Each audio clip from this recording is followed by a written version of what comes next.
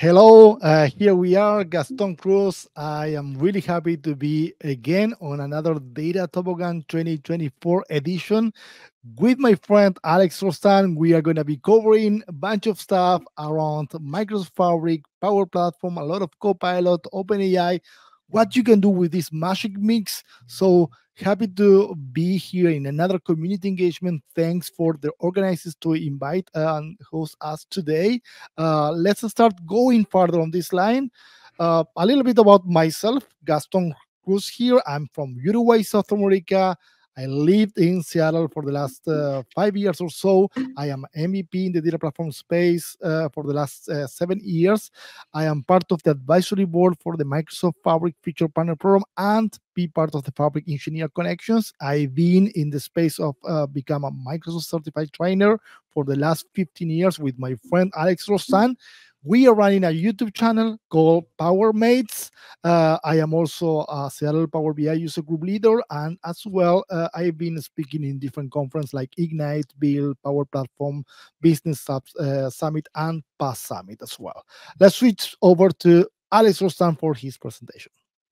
Hello, everyone. Welcome to the Data Toboggan 2024. My introduction is a little bit shorter than that the Gaston one. So I'm uh, MVP in the business application uh, category because we are going to uh, speak today and how to integrate a little bit Power Platform with uh, Fabric and do the magic. So I um, work um, Slalom Canada, Toronto as principal. I am the Power Platform uh, Canada lead in the Microsoft Center of Excellence I'm also work as a cloud architect. I'm a leader for a couple of user group in Latam. I'm Uruguayan, as Gaston.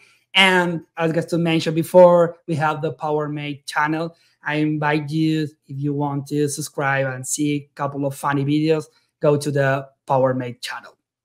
So let's continue with the presentation today. Um, we named that presentation, that uh, session today as Microsoft Fabric plus Power Platform plus Azure OpenAI uh, equal magic in the mix. And that's because we are going to see in our demo uh, how to you can quickly create applications with Copilot, then integrate data with Microsoft Fabric and Azure OpenAI. That's the idea of our presentation today. Before that, we are going to uh, do like a, a, little bit of uh, introduction about technologies we are going to be using on our presentation today. So let's start with uh, Azure AI. Uh, what is Azure AI? Maybe most of you already know about uh, Azure AI, but we can uh, say that the Azure AI is like a suite of cloud-based services and tools like uh, developed by Microsoft, of course, that enable us uh, as a developers and, and business people to build and deploy artificial intelligence application on the Microsoft Cloud, Microsoft Azure, of course. So this provide, you know, uh, a range of AI services, uh, such uh, speak recognition, image recognition, language understanding. Uh, then we can use, of course, the cognitive services. Uh, so we can integrate with different Azure services. As you can see in the image, we have like uh, split the Azure AI like applications, application platform where we have the Power Platform, a scenario-based uh, services that we have bot services, cognitive search, form recognizer, and other services. Then the customizable AI models like the cognitive services, I vision, speech, language, decision, and others. You can uh, use now the uh, Azure AI Studio, so you can use different service and models. And of course, we have the ML platform, when of course is like you can start from scratch creating your own Azure machine learning models. Then, uh, of course, I want to separate and uh, elaborate a little bit uh, about OpenAI and the Microsoft AI.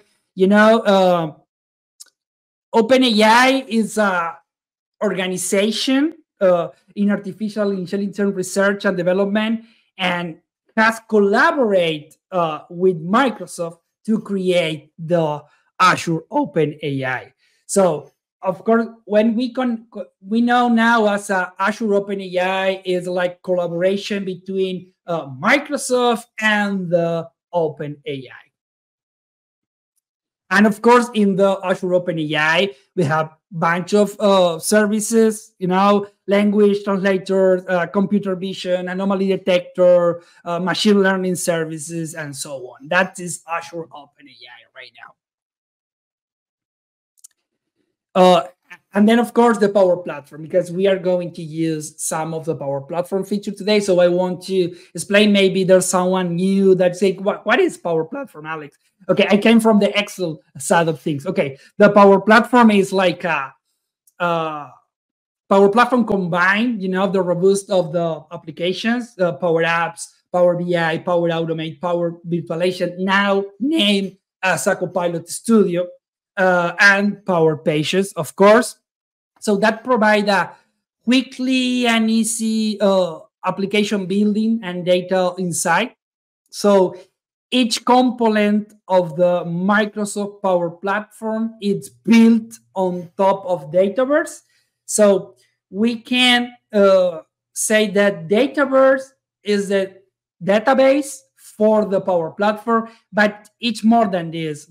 I say that Dataverse it's a collection of services on top of data. That is what I define of Dataverse. And of course, Power Apps provide a rapid low-code development environment uh, for building custom applications uh, up for bits you need. We are going to uh, be seeing how to work with Power Apps, data and Power Apps. I use Copilot to create some of the Power Apps today and connect with Fabric. And the last point, I want to talk about the Power Platform, and then I'm going to hand over to Gaston to talk more about Fabric, is the Power Platform Copilot. Uh, the you know uh, Power Platform Copilot is the way you can uh, quickly and easy create application, functional applications, just using natural language. So what we are going to see is how you can quickly create uh, an application, a Power Platform, Power App application, uh, saying, I need an application to, I don't know, um, to track task or to manage um, building materials, construction materials, or something like that. You can create application to do whatever you want using just natural language. We are going to see that in a couple of minutes, but just to give you a, a quick overview. So, Gaston, please, uh, please uh, introduce us on Fabric and, and what we are going to see today. Yeah, right on, Alex. Uh, um, one of the things that we record with Alex is our solution is a little bit of a mix between what we can bring from the power platform, from the business side of things perspective, and now what we are going to be start discussing is okay once we create the solution, what I can do with the data that we are landing from that solution or as an input from the business. So Microsoft uh, in a few last few months uh, introduced uh, Fabric as a unified solution that brings together all the workloads from different uh, streams. So if you are a data engineer, if you are a citizen developer, if you are in the Power BI side of things, Power BI actually is part of Fabric. So one of the workloads that's coming into Fabric is the Power BI, uh, you know, uh, environment. So if you want to land the data, you have Data Factory. If you are playing with notebooks and creating medallion architectures with lakehouse and building uh, notebooks and transformation and shaping the data, you have in top of that within Fabric, you have the option to create data warehouse on, on, on Fabric. You have the option to create data scientists and call machine learning from, from, from Fabric. You have a whole workload around uh, custom databases and uh, near real-time analytics. And you have a new member of this uh, Fabric family that is Data Activator. If you want to trigger alerts, monitoring different frameworks, and push different notifications out of that, you have data activator for that purpose. Let's go with the next one. As you can see, all the workloads are coming together in a one unified solution. Behind the scenes in the backend, every single data that you're landing into Fabric is in one lake an open format, Delta Parquet format, everything is landing into the one lake. You can have all data lineage because Purview is part of Fabric, so you can have a whole hub to check all the data lineage around your data. And as well, you have all AI components coming into Fabric. And we record some videos with Alex before in our PowerMates channel, mentioning, okay, what is Copilot for Power BI? What is Copilot for Power Query? What is Copilot for notebooks and the data engineer streams? So AI is pretty much embedded within the Fabric capacity. Great. Thanks, So now, uh, going to the funny part of the of the session, let's head over to the demo. Okay. Let me switch my screen quickly. Okay. Okay. Okay, let's let's start over here. Uh, let's access to the Power App homepage you know, uh, makepowerup.com. So as you can see here, I am the homepage for the Power App. And so, of course, you can click on create applications, see what is your applications, and create new with different templates. Today, just to see how easy and, uh, uh, and, and functional is to create an application using Copilot. I am going to use this box here, this text box here, that is the Copilot. So we just need to let the Copilot know what we want to create, and then Copilot is going to create uh, the application for us. As usual, uh, in the meanwhile, I am going to start creating that. You know, I want to, I'm going to create a a power app uh, with define a new solution. New solution is a power up with the tables. Define a new solution that allow me to provide license for Microsoft 365 in my organization, Microsoft 365 in my organization. Okay. So let's create that. Okay. Uh, the meanwhile, uh, as usual, if you create uh, better prompts uh, and and make the copilot understand better what you need, uh, better are going to be the result of your application. Or more, if you are being more specific, you are going to get a more specific solution in terms. For example, here, uh, this is the copilot is saying, "Hey, Alex, I understand that you need something for license management," and the, he create uh, a column with license ID, user ID, license type, start date, and end date. of course, if I, for example, start creating the prompt and say I need to create a solution that allow me to provide license for Microsoft 365 in my organization uh, to track different products and different blah blah. Okay, you are going being more specific, and Copilot going to create a more specific table. For example, if you need to add a column because there's not a column defined for a, a uh, Microsoft 365 product, we can come here to the right side and say, add a column by product name between uh, PowerPoint, Excel, Outlook, and Team. Next, it, it, this is an example, of course, to play around, but imagine you need to start adding product because your license are by product. Uh, of course, depending on the license, you have enterprise licenses, you don't need to define the product because the enterprise license has a product inside. But okay, let, it, this is just an example. Okay, so let's click here and let's see what happens. Okay, Copilot understand me that I need to add a column name product name and the product should be PowerPoint, Excel, Outlook, Teams, and again PowerPoint because I just defined those four. So now at this time, we are defining the data structure. What is the data we are going to be working or handle in our application? So, okay, when you start looking the table, saying, okay, this that's all I, I need for my application: data, license ID, users ID, license type, start date. Or as I uh, mentioned before, you can start adding columns or edit the columns data types. That's okay too. You can do that. For example, if you are not agree with license type, you can add a prompt and say, okay, change the license type for uh, premium, uh, P2, P3, P4, and not basic, standard, and premium. You can do that too. Okay. So let's create the application.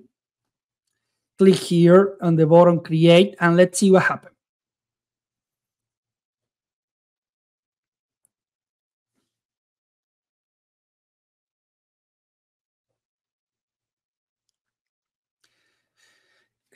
Here, the Copilot and the Power Apps are creating the application that we design with the data and the, on the table. So that means like uh, Power Apps Copilot is creating a functional application uh, to create those license assignments with that table. It's like a CRUD, you know, it's a create, remove, update, and delete that, but we can start adding more and more feature to our application. If we need add a logo if we need like more data more fields uh, here there's a pre-built section with a collection a gallery but we can define another type of gallery vertical horizontal uh, add a combo box uh, list box whatever we need. So as you can see here the application uh, came with some sample data. We can start editing, adding different component uh, to the different sections of application. But let's see how it works. It, that's really functional. This application is really functional right now. Just with two clicks. Yeah, as you can see here, you know, if I, I select the first one, so I can say edit and say, no, the data for that is not uh, 1230, is May and the end date, of course, should be, I don't know, September. Okay. And product name is not PowerPoint, it's Excel. And but the user ID is okay, the license type is okay. And I just click here on save. And as you can see here, I'm going to change here. If you return here, it's totally functional. We have already the data uh, stored in our Dataverse table our defined columns. And same thing, if we want to add a new one, we can say, okay, start date February 1st today, end uh, date of this license is August 31st. License ID, I don't know, uh, L3456. The product name is Outlook. The user ID is a U32. Final license time is premium and I click on save here. And as you can see, we have already created the row with the data. Okay, something is missing here. As you can see here, the end date was not set. up. Let's try to set here data and save again. And you can see here we have all the information here. Okay, so at this point, what happened? We uh, start creating a prompt for our Power Automate Copilot, saying what we need. Then we work in the table with data, say, okay, my table is okay, my columns, I need a new column, I need to edit a column, and now we have a functional uh, application. So next step, what we're going to see what happened is, okay, let's go over to, again, the Power App homepage.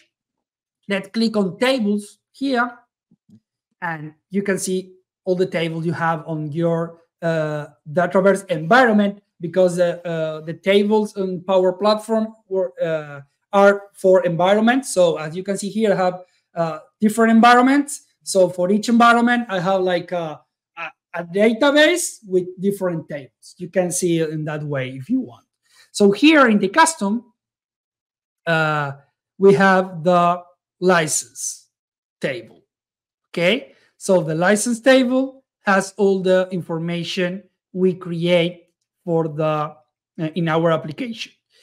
but before uh, before we leave the Power Platform and dive into the Fabric world, I'm going to see show you how to connect that. So before that, you need to came here and click on link to Microsoft Fabric.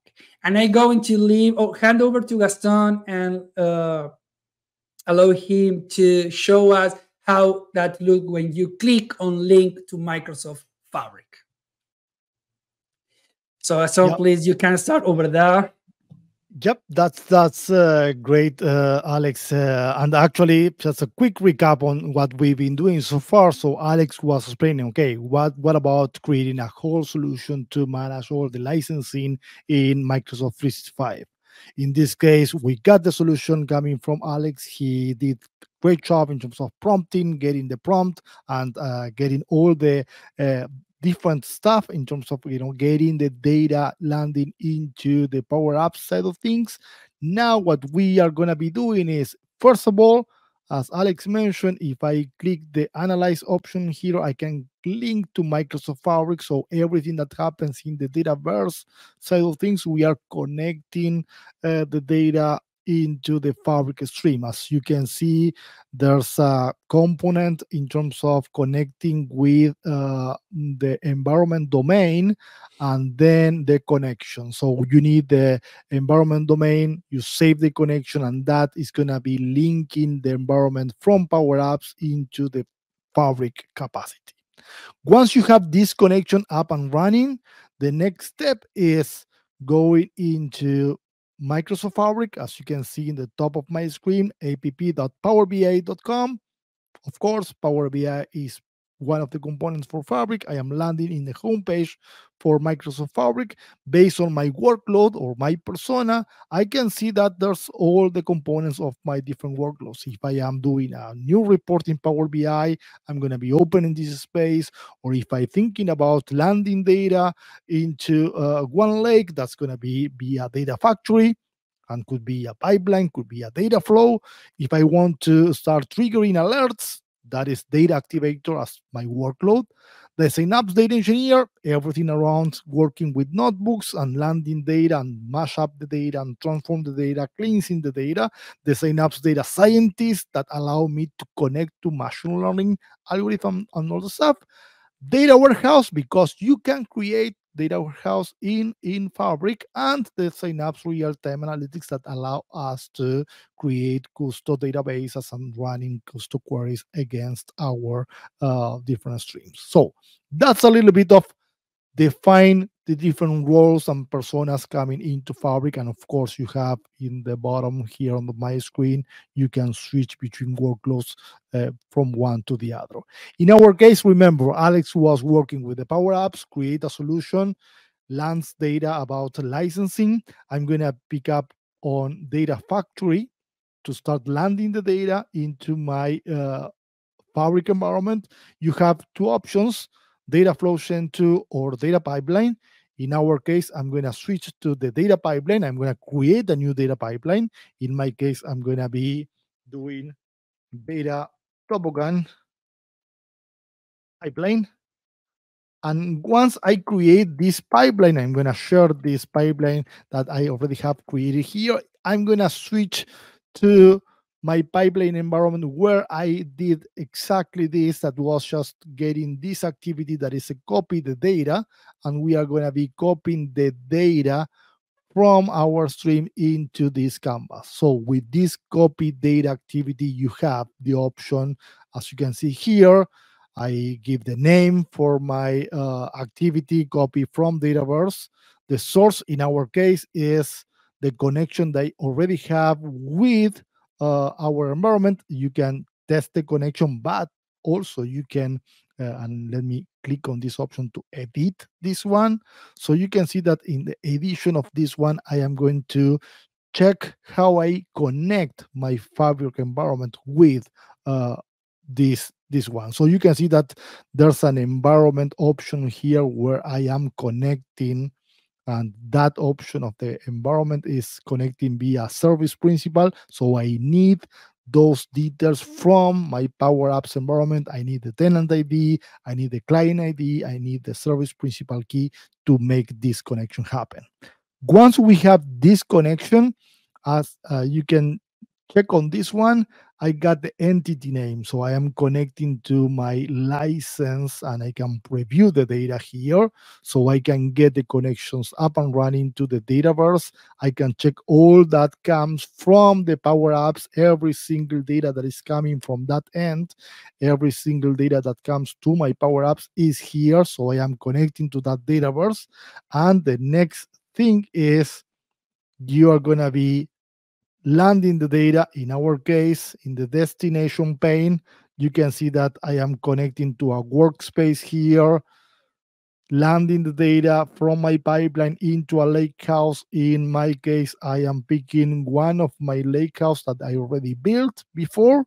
So I am landing the data from the licensing table into this uh, lake house. In my case, the name of the lake house is PowerMates LH, and the table name is licenses. So I am landing data as a new table in my lakehouse command. After I am doing this, you know, connecting the dots between the source and the destination and can validate my pipeline, of course.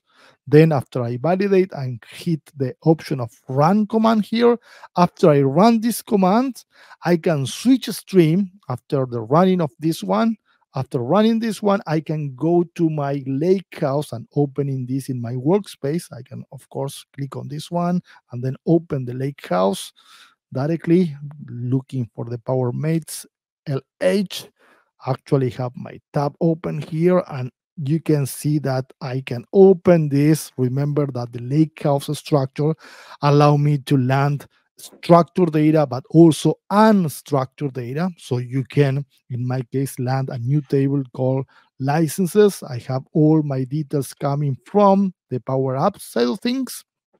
If I want to include files, for example, uh, loading a CSV file like me here, it's just a matter of click here, click the upload, upload files, and you can upload logos, images, videos, whatever you want, because that is kind of the flexibility in the Lakehouse that you can create structured tables or views, but you can also create folders and start uploading JSON file or CSV file or Excel files as unstructured data into your Lakehouse stream. After you create this structure coming into your Lakehouse, of course, you can continue dumping more data or shaping more data. You have the option to create a new notebook to do that and continue with Python script or SQL script, you know, landing more data via notebooks. Or you can also create a new semantic model in top of your lakehouse data. So you can click here in semantic model. You can, in my case, I'm going to click on the license option here uh, that is one of the options, and I can create a data toboggan semantic model. I click on the option of showing tables, click on the licensing. Uh, you can start, uh, you know, uh, clicking in more than one table. Of course, if you want to build relationships between tables, create your star schema or your snowflake uh, model uh, as your semantic model. So you create the semantic model on top of that. Of course, this is all in the services. I am not installing any kind of additional tools. It's all happening in my browser. In my case, you can check that the license is with some blue colors in the top. If I go to my advanced option up here, when I click on the table, you can see that this is because I have a direct lake connection. So everything that lands in the lake house is going to be propagate automatically to this semantic model. It's going to be linking all the data that lands into the lake house across this semantic model. We can create a new calculation group. You can calculate or create a new measure in top of the semantic model. So if you are bringing more business logic, leveraging DAX uh, to do that, you can do that. You can create measures in top of your semantic model right away here using the service.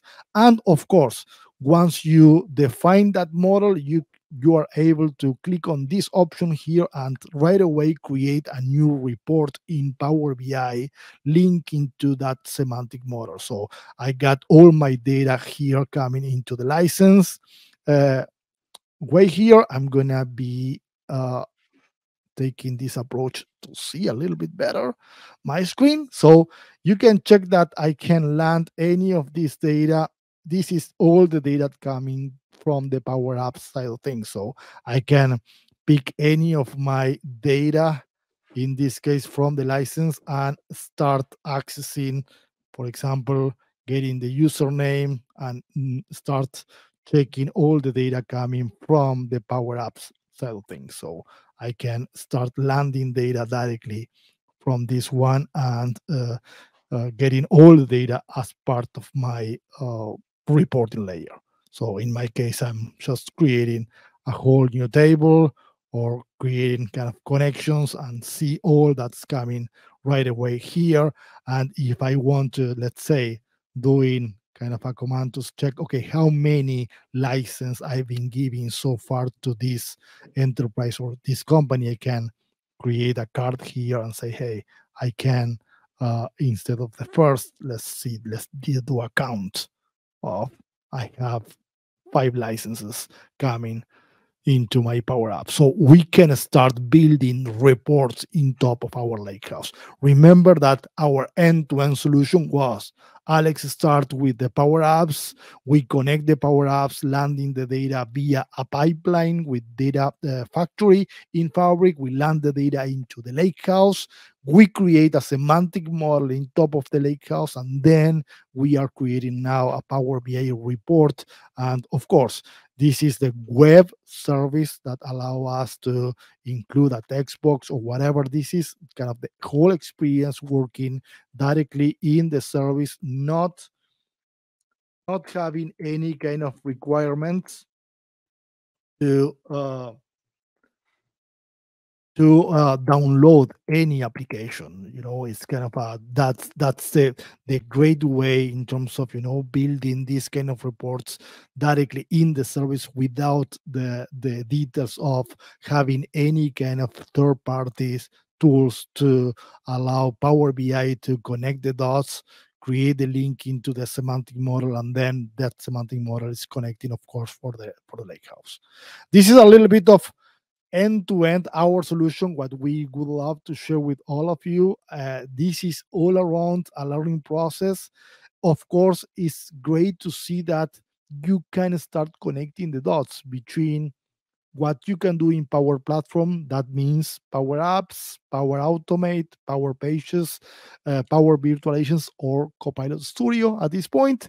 And you can start connecting the dots between what you can do in Power Platform, but also Microsoft Fabric as a unified solution for everything around data. And this is not only uh, data that you can bring from Power Apps you can start, of course, combine that data. Let's say that you have a SharePoint site, or you have a Snowflake uh, data warehouse, or you have Databricks for mashing up the data. You can combine all of them together and start bringing all the sources together to create this kind of Power BI reports, for example. Yeah, in addition to that, I, I suppose that most of you that are on the other side of the of the screen are more from the data, know, side of thing. But I want to encourage you that you can start working with this kind of solution with Power App, Power Automate, using Copilot. You don't need to uh, be a, a, super user to create those kind of applications to, you know, solve some uh, quick problem that you have on, on, on, your company that creates something so you can start working with it and then integrate with data so you can uh, get all the data in your world and of course you are going to be more comfortable showing data in power bi or, or something else. So yeah i want to encourage you that you can start using that copilot and integrate with other application. And that's pretty much it for for our our side. Uh, you can leave your your question your comment in the chat and we will be asking some questions. And thanks again to the organizers and for, for having us. Uh, happy to be here and see you uh, next year. Yeah, as always, you can connect with uh, ourselves uh, via LinkedIn, Twitter, or uh, via email. Uh, as Alex mentioned, a pleasure to be in another data toboggan. I hope that in the next version we are coming with another sessions to share with all of you. Uh, thanks for the organizer thanks for the sponsorship of this one uh, this is a really great community event so happy to be here again and thanks for having us. Bye bye